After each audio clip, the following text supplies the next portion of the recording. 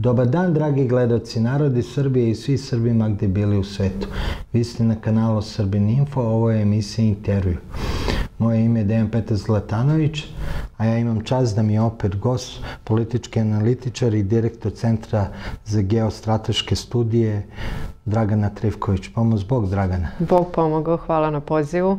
Pre neki dan smo imali u Podgorici neki, uh, Milogorski, ajde, u, Dernik, ne znam ja, pro, skup protiv ustoličenja mitropolita Joanikija, koje je zakazano za, u Cetinju 5. septembra i to ustoličenje sad je otvorilo pitanje srpskog jedinstva, odnosno a, pitanje a, u to istoličenje, da li je i problem Srbije, odnosno celokupno srpskog naroda ili jednog dala naroda koji živi u Crnoj Gore ili je to unutrašnje pitanje Crne Gore. Pa zanima me u sklopu ove geopolitičke situacije koje je trenutno u svetu, ovo što se dešava u Crnoj Gore, da li ti skupovi koji su nabijeni srbofobijom i rusofobijom, naravno, jer to jedno bez drugog ne ide. Da. Deo te posledice te geopolitičke situacije ili posledice naše unutrašnjih neka razvitke i šta mi mora, trebamo da uradimo kod društva i sve ostalo, pa da takav jedan događaj bude stvarno praznik, kao što bi trebalo stoličenje metropolita, a ne bezbedonosni problem ne samo za Crnogoru, nego za ceo srpski nacionalni prostor. Da, i to je isto jako kompleksna tema koju ste započeli, pitanje srpskog jedinstva. Rekli smo već u ovom uvodnom delu vezano za geopolitiku da Amerikanci igraju na podele među ljudima. A, na kraju krajeva to, je, e, to se dešavalo i u vreme rata na prostoru bivše Jugoslavije, gde su igrali na podršku nacionalizma, na etničko čišćenje. Dakle, Hrvatska je očišćena etnički od Srba uz podršku Amerikanaca. To je danas svima jasno i uz pomoć njihovih vojnih kompanija, privatnih i tako dalje. Na kraju krajeva prostor Kosova i Metohije takođe etnički čiste, istom tom politikom, istom podrškom. U Ukrajini pokušavaju takođe to da urade podrškom neonacističke ukrajinske politike i tako dalje. Dakle, to je karta na koju oni igraju i karta na koju oni dobijaju. Do sada su dobijali. Što se tiče srpskog jedinstva, ono nažalost ne postoji i to je naš veliki problem da zapravo mi nemamo neku bazu oko koje možemo da se ujedinjujemo. Baza bi naravno trebalo da bude matična zemlja, Srbija. Dakle, ako govorimo o srpskom jedinstvu, naravno tu uzimamo obzir i Srbe u Crnoj Gori, i Srbe u Bosni i Hercegovini, i Srbe u uh, Makedoniji, i Srbe uopšte na prostoru bivše Jugoslavije, je tako? I Srbe u dijaspori, i oni su deo srpskog sveta i vrlo važan deo srpskog sveta i morali bi da budu deo tog srpskog jedinstva. Međutim, to srpsko jedinstvo, nažalost, ne postoji. O dijaspori vlast ne vodi računa, njima je dijaspora i ovoj vlasti i Miloševićoj vlasti bila je problem srpska dijaspora zato što je ona bila dosta um, i napredna u idejama i imala je dosta mogućnosti. Naši ljudi su uh, uspešni uh, svuda u svetu i imamo tog potencijala. Međutim, njima to predstavlja problem jer se to uh, kosi sa vođenjem njihove politike koja nema ovaj, zapravo strateški pravac razvijanja uh, i srpskog jedinstva i dakle um, razvijanja srpskih na, nacionalnih i državotvornih ideja, nego uh, tavori u potpuno drugačijem smeru. Uh, šta je problem? Jeste problem, dakle, generalno kada imamo te tendencije i tu politiku koja ide na to da se stvaraju podele a, i dakle ne, ne samo podele u srpskom svetu, nego da se stvaraju generalno podele. Dakle, imaćemo, a, stvarat ćemo konflikte između muslimana u Bosni i Hercegovini, Srba u Bosni i Hercegovini, između Hrvata u Hrvatskoj i srpske nacionalne manjine, između Albanaca, albanske nacionalne manjine u Srbiji, na Kosovo i Metohiji, Srba i tako dalje. To je karta na koju oni igraju. Ali sa druge strane, šta mi radimo? Mi nemamo kapaciteta da se objedinimo zato što nemamo državotvornu vlast koja vodi, nemamo vlast koja vodi računa o nacionalnim interesima. Ono što je problematično, ako govorimo konkretno o Aleksandru Vučiću, to je da je on kao takav, ja mislim da je e, to jedan od razloga i zašto je podržan od strane Zapada i zašto izabran na kraju krajeva, jer mislim da ni, jedan, ni jedna vlast na prostoru evo, govorili smo jugoistočne Evrope, ne bi mogla da dođe, jel tako da nema podršku Zapada i ta podrška je jako bitna. Ali zašto je on odgovarajući i pored svih njegovih mana koje su oni svoje vremeno osuđivali, setit ćemo se da je on 90. godina sa skupštinske govornice govorio ubite jednog Srbina, mi ćemo sto muslimana, dakle to je ekstremni nacionalizam, to je ekstremizam, ali oni to podržavaju kao i Ukrajini sad što podržavaju takvu politiku. Zašto? Pa to je politika koja igra na kartu podela to njima odgovara. Da bi neko uh, ujedinjavao narod, mora da ujedinjuje na zdravim osnovom, na zdravim idejama, na, uh, na dobroti, ne na zlu, na, na mržnji, je tako, na širenju mržnje. To ne može, niko nije ujedinio ljude na toj osnovi. E, to je ve veliki problem. Dakle, to je veliki problem i ono što je takva politika do čega je dovela, to je da su Srbi svuda podeljeni. Vidite na Kosovo i Metohiji, evo to je tipičan primer zbog čega. Zato što je to zajednica mala koja je ostala, nažalost, i koja je bila jako kompaktna i ujedinjena, jer su oni bili ujedinjeni u toj borbi za opstanak na Kosovo i Metohiji, bili su ujedinjeni protiv da pruža otpor Albanaca, njihovoj agresiji, njihovom progonu, progonu koji državljavaju od strane Albanaca. Ali šta se desilo? Dolazkom na vlast Aleksandra Vučića, Pa to jedinstvo je razbijeno, čak i u toj maloj kompaktnoj zajednici. Kako je razbijeno?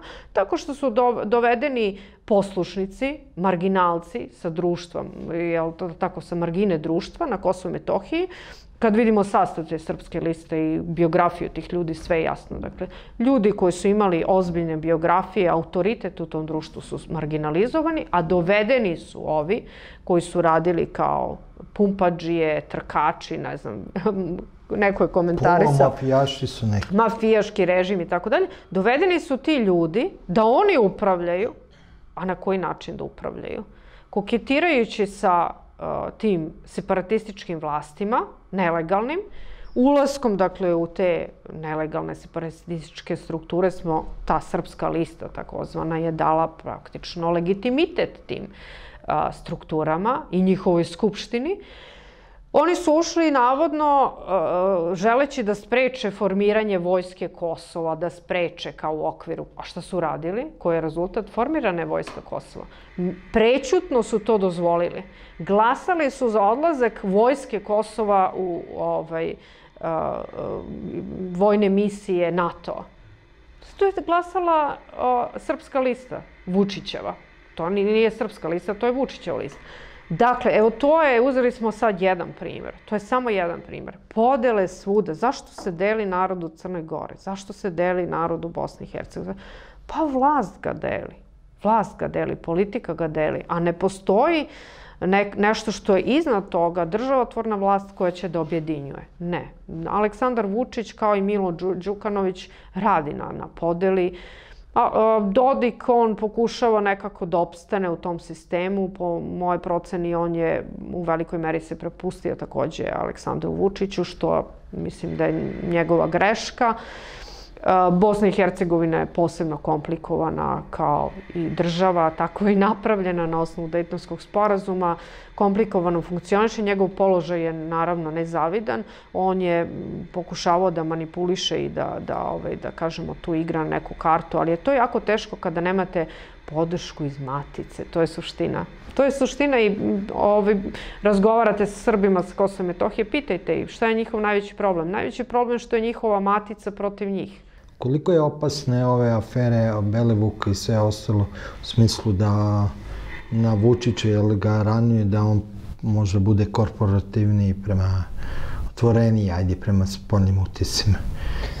Pa vidite, mi, mi smo sad opet u jednom jako nezgodnom položaju. Mislim, mi, ono što rekli smo, nemamo neku bazu na kojoj možemo da se oslonimo, nemamo neku političku organizaciju u kojoj možemo da se okupimo. Nemamo, e, e, crkva nam je takođe dosta podeljena, dosta je pod razno raznim velikim uticajima. Znači, nemamo nešto, ono, kad kaže davljenik se za granu hvata, pa mi nemamo tu granu za koju možemo da se, slamku za koju možemo da se uhvatimo. To je problem. Dakle, mi imamo jednu kriminalnu vlast koja je umešana u razno razne afere vratit ću se opet na početak da sam govorila taj sistem Amerikanci, dakle oni dozvoljavaju, dovode na vlast, upravo njima takvi i trebaju. Oni znaju odlično naprave psihološki profil ljudi i znaju koga treba podržati i zašto treba ga podržati.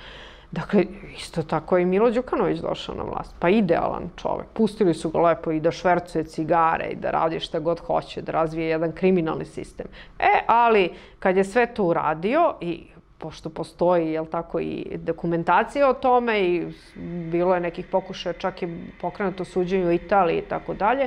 Ne znam da li je on tu malo pokušao nešto da se ovaj, izvrda, da tako kažemo, ali pa ništa, posle toga je potpuno igrao na njihovu kartu. Protiv interesa svog naroda i svoje države.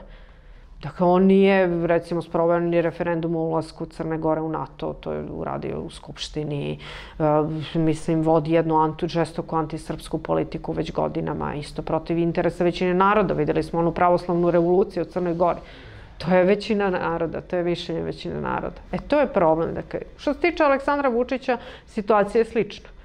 Dakle, oni imaju dokaza i materijala i mnogobrojnih i sada već se govori o tome da će od septembra biti pušteni neki snimci gde se možda čuje i glas predsednika gde on razgovara sa nekim iz kriminalnih struktura, da nešto dogovara i tako dalje. E, postoje te mnoge afere dakle, koje ne, u koje je on i direktno umešan, a indirektno preko razno raznih svojih saradnika.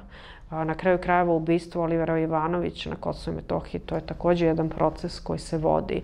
Imamo Belivuka, imamo Jovanjicu, dakle državnu uh, fabriku droge, imamo, mi, mi ne znamo, ja, ja, ne, ja stvarno ne bi mogla ni, mogli bismo da pričamo tri dana o emisiji šta sve imamo od afera, jel tako, ovi poslednjih godina od, od seksualnih manijaka kao što je Jutka do, do ne znam, ubistva na naplatnoj rampi, u, u Doljevcu, do ove, Jovanj, prosto čovjek ne može ni da, da ovaj, evidentira sve te afere koje postoje. Da li onda postoji mogućnost da ovde izbije neka vrsta rata opet? Jer videli smo komunisti kada im se raspao sistem, oni su ga napravili umesto da mirno, možda kao u Češkoj, oni su odmah zaratili.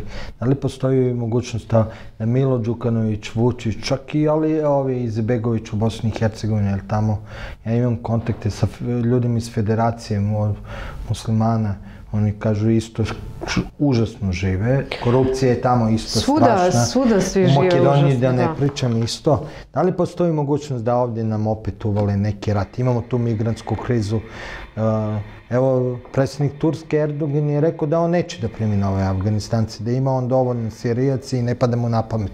Da, da zato i šalje ovde kod nas na Balkanu, ba, ujedno oruža, naoružavajući vojsku Kosova e, da, i takve stvari. Da li postoji mogućnost da ovde opet. Da li ima ko da pa, rat? Znate šta, neka moja procena je ovaj, ono što se dešavalo 90. godina, naravno tu su išle u prilog te e, komunističke strukture koje su se preusmirale na čist nacionalizam koji je podržan sa strane Zapada. I o, rekli smo, Amerikanci su i tada igrali na tu nacionalnu kartu na kartu ekstremizma, nacionalizma, međusobnih sukoba, sukobljavanja različitih nacionalizama. A, da li sada postoji, i naravno na ruku su im išli takvi režimi kao što je bio Izetbegović, kao što je bio Milošević koji je takođe igrao na tu kartu.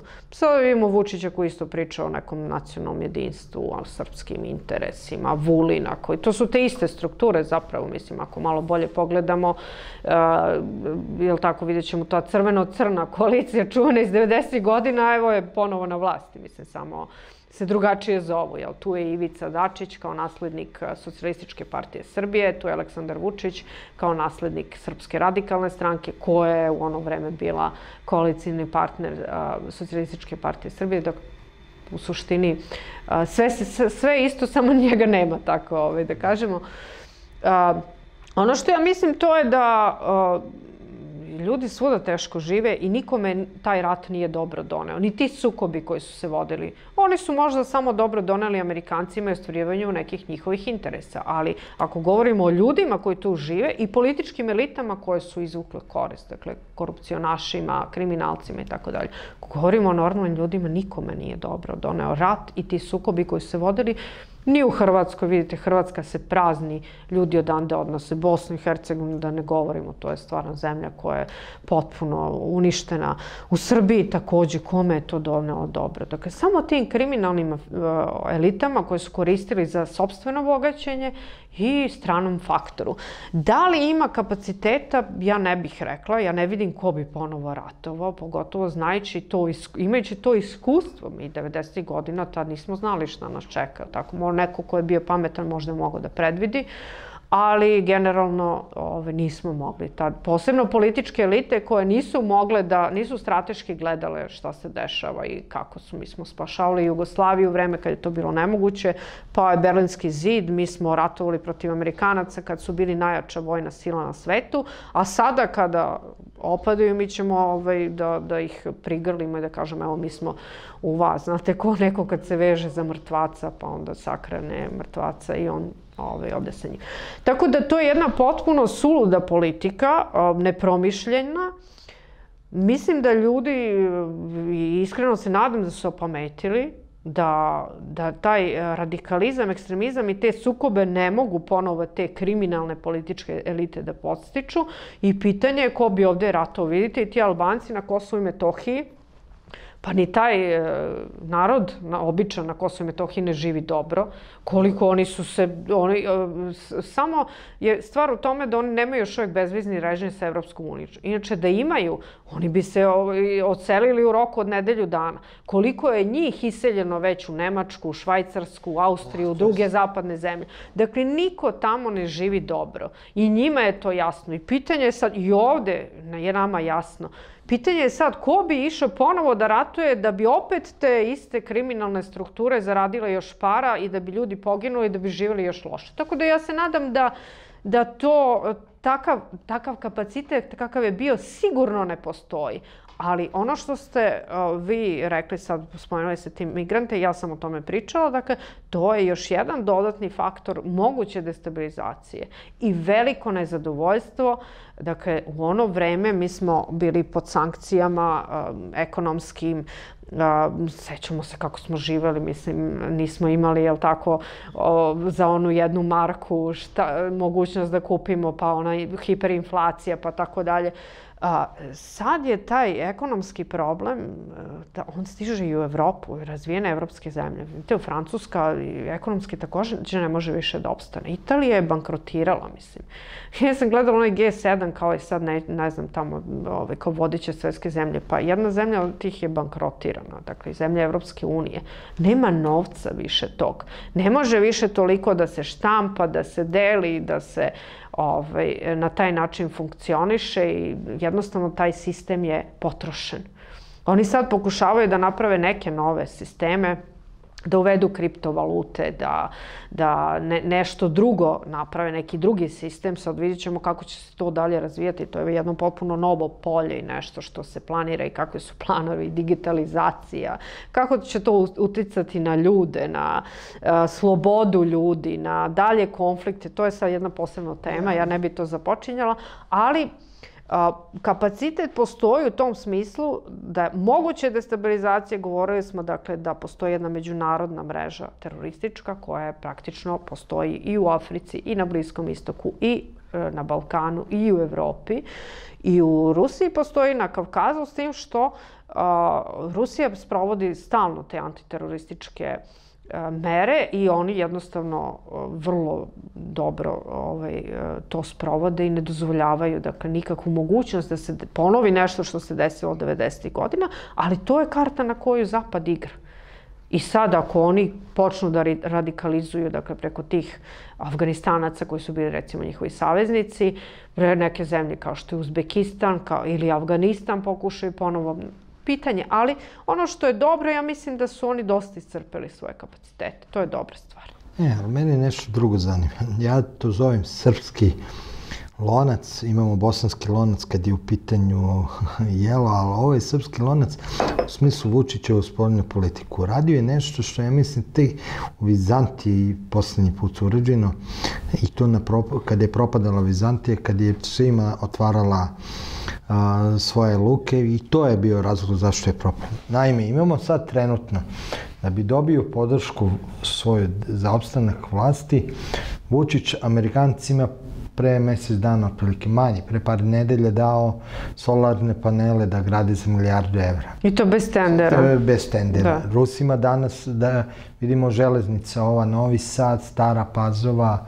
To je stari Beograd, projekat. Da, stari, ali se radi, da je to, nisi dao. Da, da. Mislim, pokušava nešto da da. Ima Ameri Kinezima je dao... Ru... Ne, Rusima on ništa nije dao. Da, A, samo dobro. da vas ispravim, Mislim, to je bitno da, da u celom ovaj, kontekstu spoljne politike da kažemo, on Rusima ništa nije dao. Taj NIS oni su dobili u vreme ovaj, demokratske stranke i Koštunice, a železnice je takođe stari projekat koji on koči, koji je do sada odavno trebalo da bude završen. Znači, on Rusima ništa nije dao i to je vrlo važno da napomenemo zašto. Zato što on stalno priča o tom srpsko-ruskom prijateljstvu, kako niko se nije sastao s Putinom sem njega, kako on to razvija na ne znam kakvom nivou, a, a zapravo je sve obrnuto od toga što priča. Jer Rusi najviše što su, da kažemo, dobili ovde, to je NIS za vreme demokratske vlasti, demokratske stranke i demokratske stranke Srbije. I to je baza jedina njihova koju oni imaju ovde, jedini neki uticaj koji nije beznačajan, znači to je uticaj u energetici. Ostalo,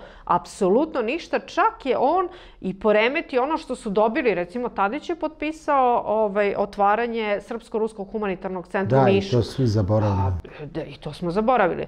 To je on uradio, a Vučić nije, čak nije dao ni diplomatski imunitet, čak je, mislim, vodi se politika da se to zatvori i tako dalje. Tako da, to, to je bitno da napomenemo da zbog toga, iz tog razloga da ne bude, jer ovaj, on voli da priča priča kako on daje Rusima, a zapravo ništa. To je interesantno da on kao neko ko se predstavlja kao ruski saveznik ništa nije njima dao. Oni bukvalno ni, ni fabriku žvaka ne mogu da otvore u, da, u Srbiji. Da, ja znam i, evo i o tome sam izvešavao kako jedan e, Irina, neka iz Moskve kao strani investitor, kako je opljačkan na Novom Sadu i to baš Mnogo je takvih primjera.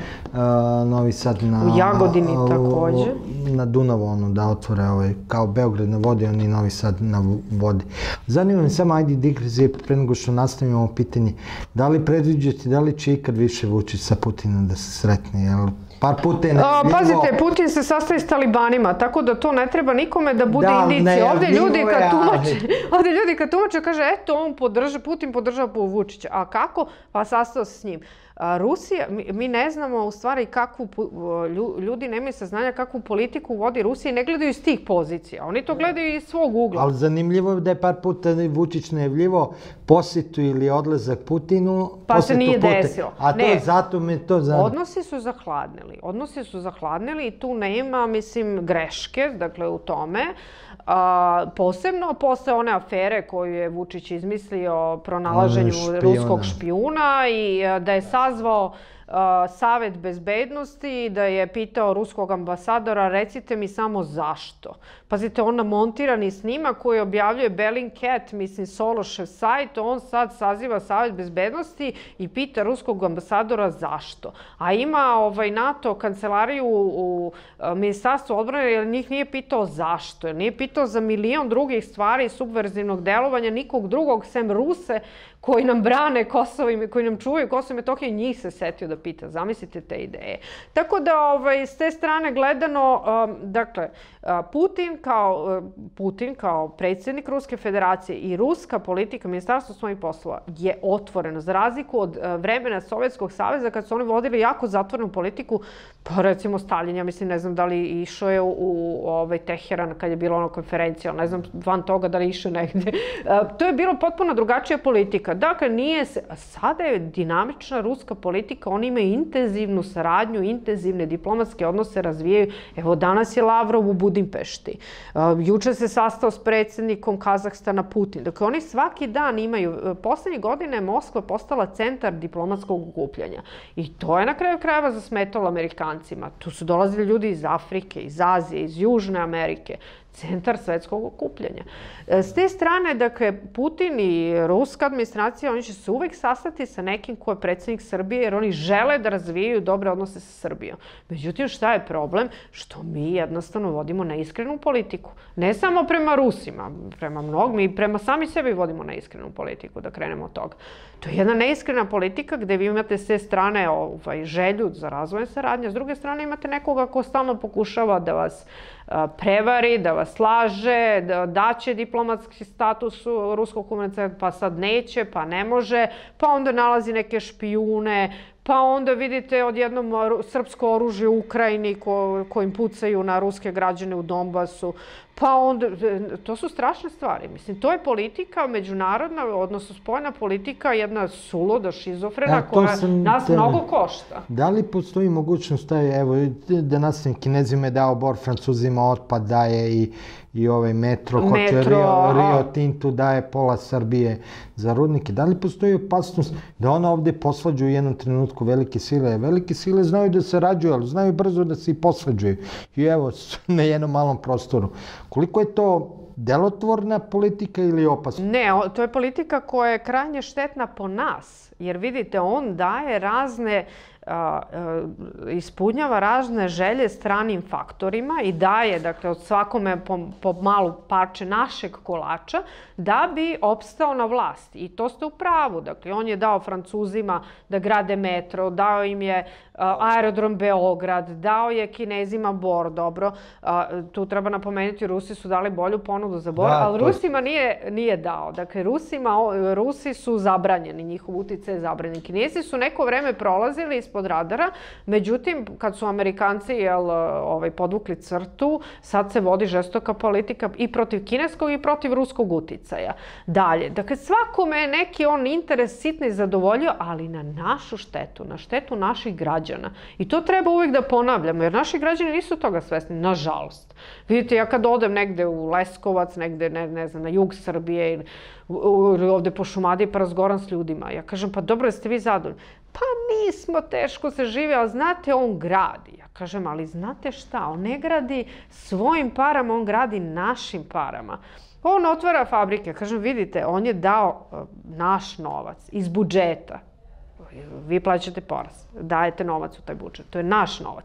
On je taj novac dao nemačkim kompanijama, turskim kompanijama da otvaraju fabrike gde će vaša deca da rade za platu od 200 evra kao robovi. Jer vi mislite da je to normalno? Jer mi nismo sami u stanju da otvorimo svoju fabriku srpsku gde će, gde će Srbi da rade, gde će imati normalne uslove, će biti ispoštovani, da ne rade kao roblje sa pelenama i ne znam u kakvim uslovima. Jel vi mislite da Nemci treba da dođu da nas uče kako da gajimo svinje, onaj, kako s tenis, kako se da, zove da, nemačka kompanija koja je takođe dobila novac. Pa vidite, srednjovekovna Srbija živela od izvoza svinja u Nemačku i mi sad dovodimo Nemce i dajemo im pare da nas uče kako da gajimo. Pa to, to je suluda jedna politika. Austr austrijska firma dobila novac za otvaranje fabrike sokova, jer mi ne znamo da napravimo sok, da izvezemo taj sok.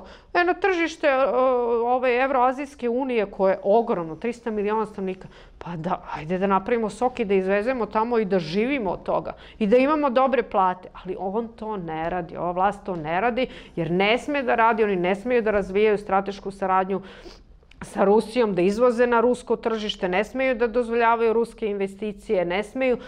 Tako da to je naš problem. Dakle, mi vodimo politiku u stranom interesu. I mi samo rastačemo ono što imamo, već smo rastakli dosta, ne znam, ja, ja se nekad pitam... A ako pa, da, ovaj, iskreno da ćemo kažem, moći da vratimo to? Izvinite što vas prekine, ćemo moći da vratimo? Pa kako se to vraća ako dođe neka državotvorna vlast i kaže doviđenja, ovo je sve poništeno, nacionalizuje se to, to, to što je otuđeno od države i onda sad podlačimo crtu i nastavljamo dalje. Jedino tako može da se uradi. Drugačije ne može. Ali mora da dođe vlast koja će to uraditi. To je urađeno u nekim zemljama. Podvučene crta i kaže se, evo, ovo je otuđeno od države, sad se vrši ovaj, ponovo, dakle, Pa na kraju krajeva i Ruska federacija na taj način vratila i državna preduzeća koje su otuđena energetska i ovaj, kako se zove, predu, odnosno novinske agencije raznorazne i tako dalje. Ruska država je vratila svoje resurse u svoje ruke. Može to da se uradi, ali treba da dođe neka vlast koja će to uradi. A koja će vlast, e, koja je onda ovde opozicija prava ove vlasti? Ste mi najteže pitanje. A dobro, mora da, a, ako već kažemo neko da ne bi bilo ono, govorimo samo da bi se rekli ko, ko, da li postoji ili da li treba da se stvori Znate šta, um, ko je to pametno i dobro rekao i mudro da svako ima vlast onako kako zaslužuje. Dobro, ali to je opće Patrijarh Pavle isto to ponavljao. Dobro, da. ali to je opće Biće nam bolje kada budemo bolji.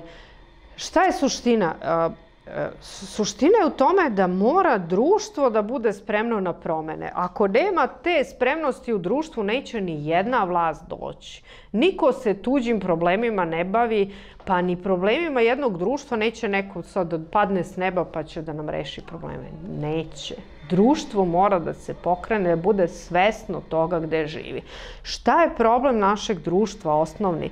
Naše društvo je potpuno prvo dezorijentisano. Ja shvatam, 30 godina već živimo u nekom haosu potpunom, u, tranzi, neka bi bio neki sistem koji se raspa, pa onda tranzicija, pa ta tranzicija pređe u neku drugu tranziciju, pa neka demokratija koja bi se pokazala da nije demokratija, pa sad smo u nečem, ne znamo ni mi u čemu, u nekom petom tranzitu, mislim, je li tako? E, dezinformacije koje se plasiraju, a, ljudi ne mogu da shvate šta se dešava, ali to jeste tako napravljeno da običan čovek bude dezorijentisan i da ne može da shvati i da kaže pa sve je isto i ne može da se promeni, meni je sve isto i tako. Kako izaći iz zone? Pa kažem, znači mora da postoji ta želja u društvu, ali vidite, naše društvo, ja, ja sam zaprepašćena kad sagledam neke situacije, vidite. Ide, Recimo- Imamo izbore, evo zato vas pitam, imamo izbore, to je konkretan događaj.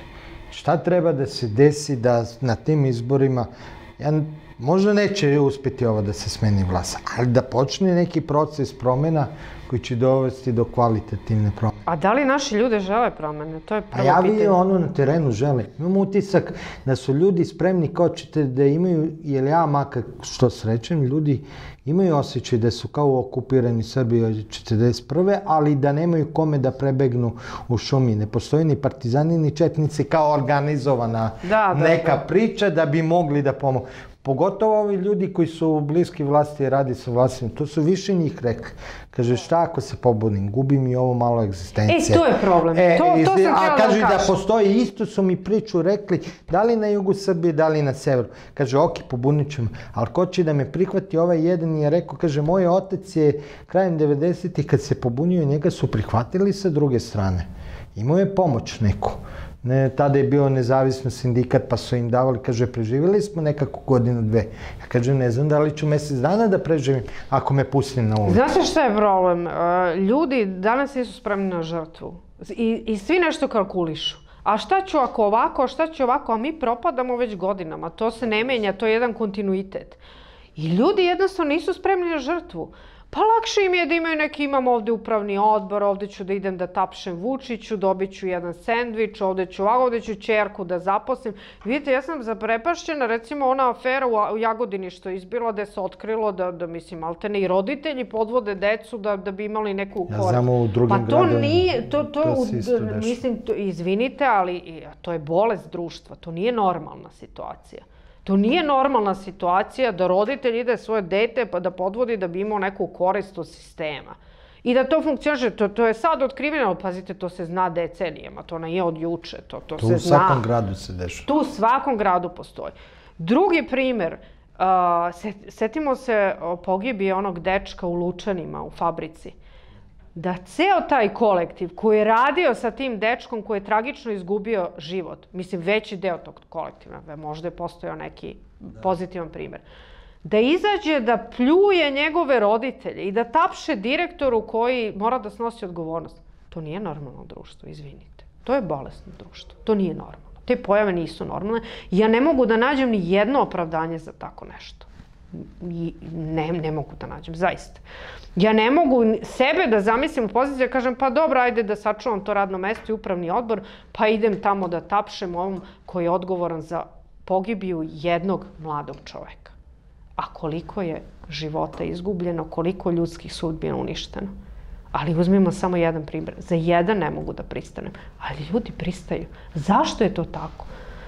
Da li to može da se promeni? Pa to, to su odgovori na koje ni ja, ni vi, pa možda ni Bog nema odgovor na ta pitanja. Ali je problem u nama, u našem društvu. Dakle, mora da postoji svest o tome gde živimo, u kakvim životima živimo. Vidite, ovde se potpuno društvo izgubio i, i moral, i čast, i poštenje, i svi kriterijumi su se izgubili. Nema više nikakvih kriterijuma. To je postalo... Da, nema stide i srama. Nema stida, nema srama. To je postalo retrogradno, valjda. Ako ste častni, pošteni, kako vidi ovaj, mislim. Ne, e, to je problem. Vi, u jednom društvu kada doživi takav pad, a još nije svesno toga, Pa tolika doza primitivizma, tolika doza agresije.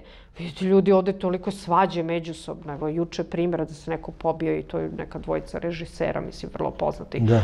Tolika doza agresije, toga nema, verujte mi, ovaj, recimo ja sam boravila sad dva meseca u Rusiji, toga tamo nema. Da, i ja sam, ja sam se od toga oporavila i meni je jako teško kad se vratim ovde, svesna toga šta se ovde dešava, teško mi da to podnosim ali mora da postoji svest o tome i želja da se promeni. Vidite, ja se sećam 90. godina kad je Vuk Drašković išao u predizbornu kampanju i u nekom selu kad je pitao seljaka, hoćeš da glasaš za mene? On je rekao, pa kaže, pa neću sad, kad dođeš na vlast, onda ću da glasam. znači, problem je ako ljudi a, reše da se odreknu svojih upravnih odbora, privilegija, gostovanja na televizijama, poziva na, ne znam, nija kongrese, šta, zašta su već spremni da žrtvuju budućnost svoje zemlje i budućnost svoje dece i svojih unuka i pa ako su imaju to svest od toga, onda će se nešto promeniti. Ako nemaju, ne, ne, neće niko drugi rešiti naše probleme i neće se promeniti. Ono što se dešava u svetu i ono što su svetske ten, tendencije, to nama ide na ruku. Uh, ali mi to, to treba da umemo da iskoristimo i treba da budemo svesni toga i treba da budemo spremni da iskoristimo. Ali kažem vam, ja nemam odgovor na to pitanje da li smo mi kao društvo spremni na tako nešto. U Beogradu vidim, mislim, dosta ljudi koji su protiv ovog sistema, Uh, i, mislim, postoji ta neka spremnost i da se uh, izađe na crtu i da se suprotstave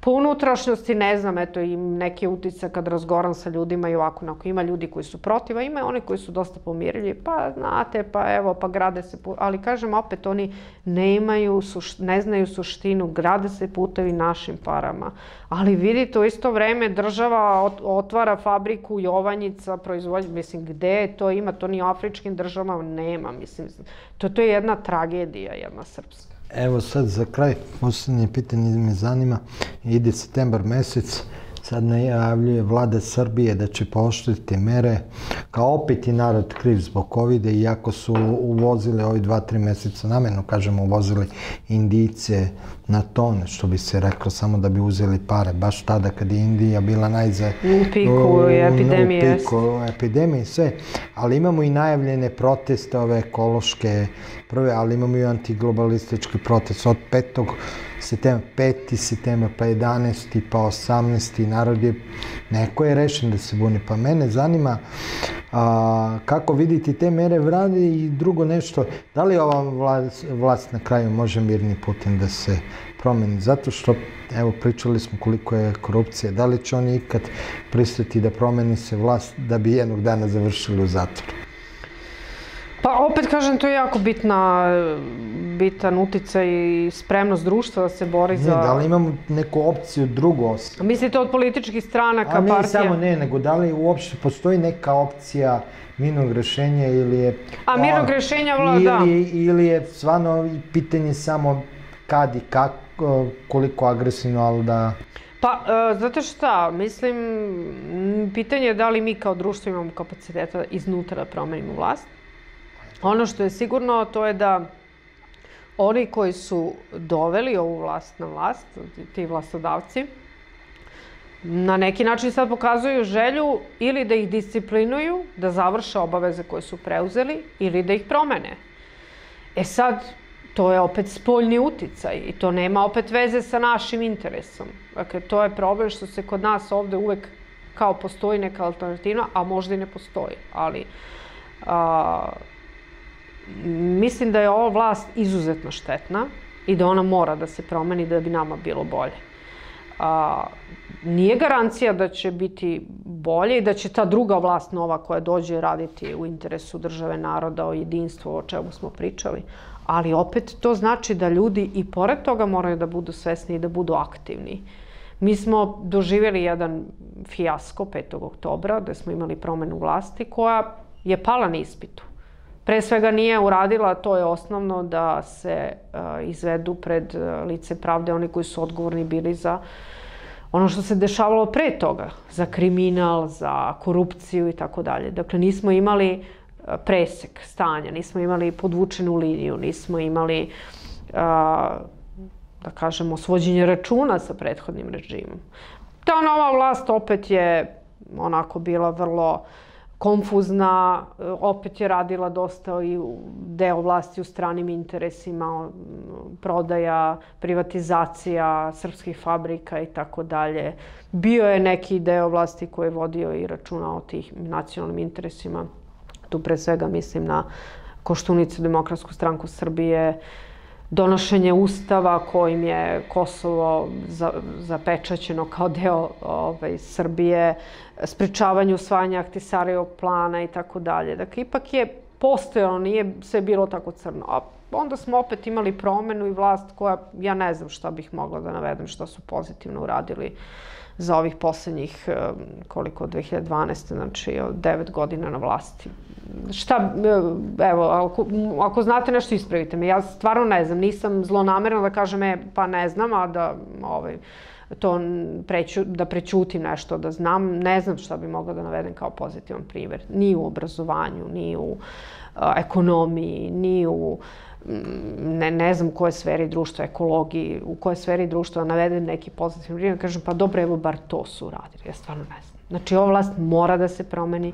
Nema garancije da će neka druga vlast biti bolja, ali mi moramo jednostavno malo da se uključimo kao društvo i da se mi e, na neki način prizovemo u pamet, da budemo i mi odgovorni sami. Jer ako mi budemo odgovorni, možda će i ta vlast odgovornije da se ponaša. Ako mi kažem, pa dobro, evo imam upravni odbor, idem da tapšem tamo ovom direktoru koji je odgovoran za ubistvo e, kolege, idem, ove, ne znam, nija čerku da odvedem na proslavu kod Palme, pa da vidim kako... Pa to nije odgovornost. Znači, garancije ne postoje, situacija je vrlo kritična, ono što, što smo rekli, ja zaista se nekad čudim kako mi opstajemo uopšte kao država, pored svega što nam se dešava, ali ja to opstajemo. na kakvom protestu ili na kom što protestu se tiče protesta, bi izašli? Evo, pitam vas to. Ja lično? Da. Pa, u, u suštini, ja, sam, ja mislim da od 90. godina sam izlazila na sve žive proteste. Jedino nisam ovo kad je, su štrajkovali na Stiroporu, ova ekipa, ovaj, Tomislav Nikolić i Aleksandar Vučić, to ni, naravno nisam izlazila, ali van toga mislim od 90. da sam bila na svim protestima, već da poznajem i ljude koji dolaze na te proteste i parole i tako dalje. Šta je problem? Mislim, možda je to suština vaših pitanja. Problem je da se već 30 godina zloupotrebljava patriotizam, zloupotrebljava se dobra volja ljudi i od toga se nešto drugo podmeće, da tako kažem. Evo, to je primjer i u Crnoj Gori, vidite da imali smo pravoslavnu revoluciju, imali smo jedan protest koji je promenio vlast. I imamo novu vlast, ali opet moramo da vidimo šta radi ta nova vlast. Pa vidite, ne znam ništa, posebno nisu ovaj, napravili neki diskontinuitet od prethodne vlasti. Slažem. Pa nema, za sada nema takvih indicija, pa ne znam, opet te sankcije Rusiji, pa čim je to interesu? Mislim, to je veliko pitanje, ali tako? A, ovde imali smo 90. godina tu opoziciju za koju posle smo shvatili da nije bila opozicija, tako, Vuk Drašković. Možda je bilo u nekom momentu, pa ih je onda sistem privolio. Vuk Drašković, Šešelj, tako, ovaj, na kraju su oni zlopotrebili taj patriotski zanos i pa, patriotski naboj i tu energiju koja je postojala. Oni su to zlopotrebili. Imali smo tog Draškovića koji isto i govorio, seći će ruke, ko ponese barijak, drugi sem srpski, Vučića takođe, mislim, jednu ekstremnu nacionalnu retoriku koja je posle prešao u neki drugi ekstremizam. Mislim, to Drašković, on je jedan od glavnih, mislim, dobro, nema nikakav značaj, on je potpuno čovjek nebitan, ali ga neko tu čuva i drži i mogućava malo da ima neku korist. Ovaj, I druga stvar, on je NATO lobista, je li tako? A slao je patriote i Srbe da ratuju i da idu da ubijaju neke druge ljude, kao što su i ti o, neki drugi ljudi i njih je neko slao, je li tako? Radikalna stranka takođe, mislim, šta sad ovaj, govorimo, patriotizam, sad neko tvrdi dalje Vučić je patriota, pa čekajte, ali mislim, ko je on ugovore potpisao sa NATO, ko on je proglasio i Clintona i onog Šredera i Tony Blaira za prijatelje, a juče je sa njima rato. Znači, te iste strukture koje su zaratile sa NATO-om, sada su na, te, te figure sa kojima su zaratili i koje su bile vodeće u lobiranju za bombarduje Srbije, sad su im to glavni prijatelji. E to je problem, ta jedna zloupotreba koja postoji.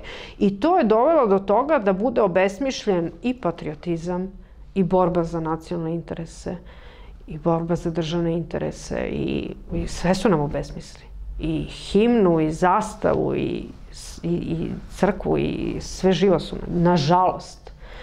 I sad ljudi ne znaju, oni više što vi kažete, mislim, ja isto ovaj, tvrdim da su dezorijentisani, više ne znaju ni kome da veruju, ni šta da rade. Kad vide da već 30 godina ovaj, neko zloupotrebljava njihovu dobru volju. Ali sistem kao takav, sad tu bismo morali da uđemo u analizu malo kako je napravljena naša država, pa onda od 45. ko je preuzeo tu kraljevinu Jugoslaviju, na kojim osnovana, ma koje strukture su tada napravljene, vojno-bezbednostne institucije, a ko je pri raspadu na koji način preuze i, i, i za koga radi i dalje te institucije? I zašto srpske institucije ne rade za srpske interese, nego postoji neki sistem koji, mislim, nekako kanališe sve to.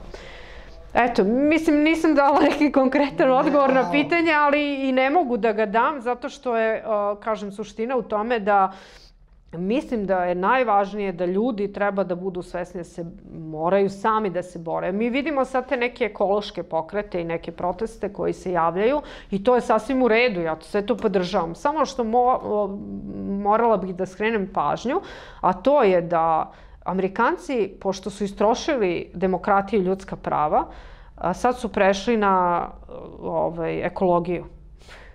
i na nešto drugo. Oni kad potroše tu priču o demokratiji i ljudskim pravima, onda pređu na interese, ne na, ovaj, recimo, na Afriku i da tako na afričke zemlje vode računa o gladnima i na ekologiju, mislim. E, sad je pitanje, dakle, da ne dozvolimo da neko manipuliše time i iskoristi. A, a, dakle, definitivno je ekologija problem. I, ali imamo mi mnogo i gorih problema, nažalost. Samo da neko ne iskoristi sad da postiče te ekološke pokrete da bi opet preko njih neke svoje ciljeve ispunjavao. A koje mi, nemaju veze sa koji nemaju veze ni sa ekologijom, nego i svoje političke, ekonomske interese. Jer se borba, recimo, za ruski i kineski interes sada vodi preko ekologije. To Amerikanci rade. I to nije tajna. Evo, ja sam čitala pre mesec dana je objavljena nova strategija nacionalne bezbednosti Ruske federacije, gde je upravo i to ovaj, navedeno kao jedna od opasnosti. Dakle, za suzbijanje ruskog uticaja se koristi ekologija i ta ekološka platforma.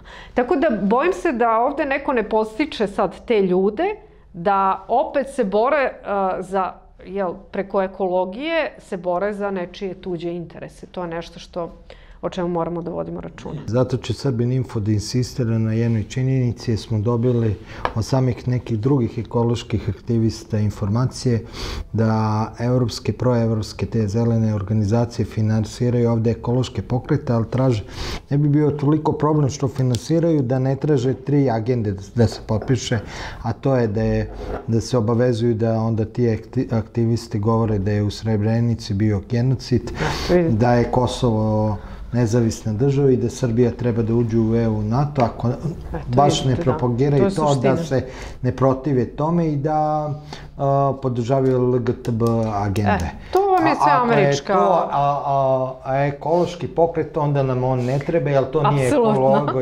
Ali ako je stvarno pokret koji želi i podrška se zapadu u smislu da nemamo Rio Tinto, da nemamo zagađene reke, da, ne, da imamo čist vazduh, dobrodošle. A sve ovo ostalo, to je politika i nema ništa protiv demokratiji to neko mora da zastupa, ali napraviti svoju liberalnu demokratsku partiju kao što je bila Čeda Jovanović, pa zastupajte te. Tako, ili zelenu partiju koja postoji u Nemačkoj, recimo zelena partija je potpuno jedna ekspozitura američka, koja sad pretenduje, mislim da nemaju šanse nikakve da dođu na vlast, jer ipak u Nemačkoj to industrijalci ili industrijski gradovi važni rešavaju i mislim da oni to neće moći da izvedu, ali recimo to je njihova ekspozitura i oni preko te zelene stranke Nemačke pokušavaju tu svoju agendu da štite i da šire. Ali mislim ta zelena partija recimo imala jako bitnu ulogu i u bombardovanju Srbije, u, svem, da, u svoj toj politici koju ste spomenuli iz 90-ih. To, to je to.